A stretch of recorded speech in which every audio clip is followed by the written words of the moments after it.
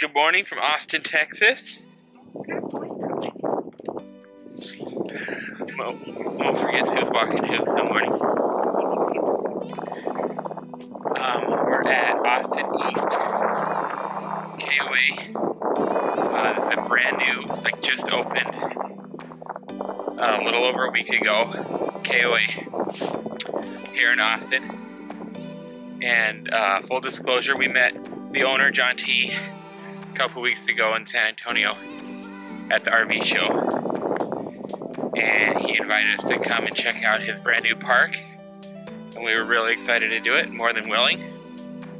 And he did give us a discount on our stay here, just for full disclosure. But he wants us our honest opinion. Yeah, he wants our honest opinion. He knows we're travelers. He knows we prefer KOAs and spend most of our time when we're not boondocking in KOAs. So he wanted our honest opinion about the place and we got here yesterday and he gave us a walk around and showed us everything. And he's got stage stage one done. He's gonna build it out in three stages. It's gonna be huge.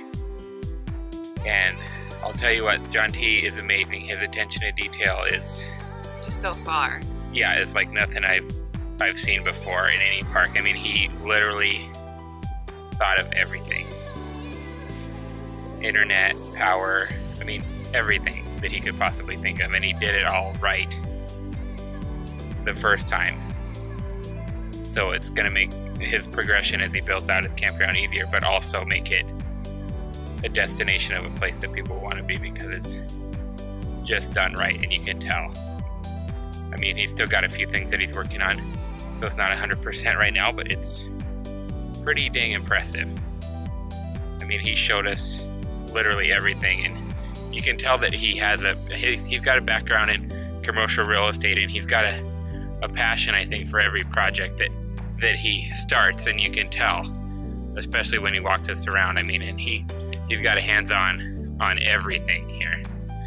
So it's a pretty cool place and we'll show you guys around a little bit.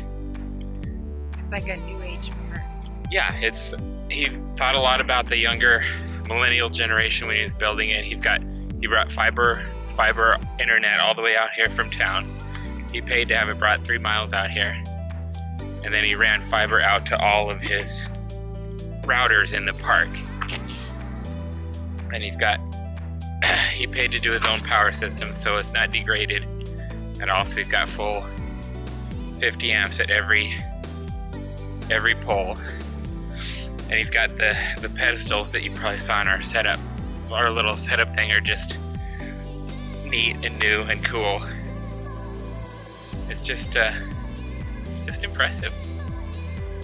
So we'll show you around a little bit and maybe get some drone shots of the area and stuff but it's a cool spot.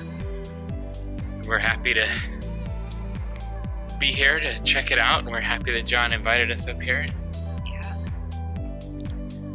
If we can give him any insight or give him a little encouragement, that's awesome. If anything, walk away with a friend. Yeah, exactly.